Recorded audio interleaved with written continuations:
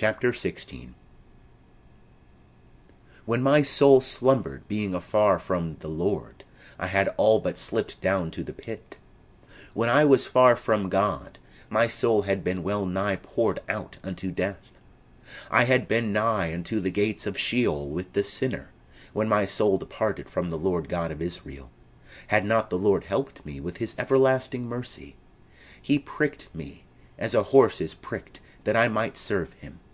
My Saviour and Helper at all times saved me.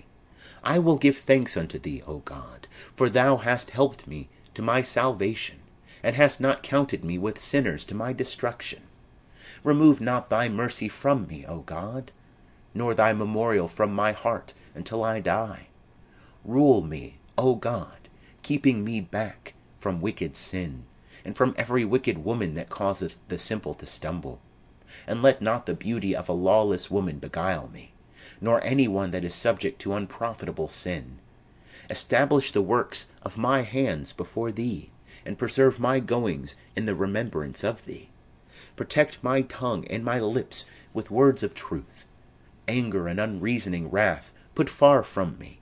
Murmuring and impatience in affliction remove far from me. When, if I sin, thou chastenest me that I may return unto thee.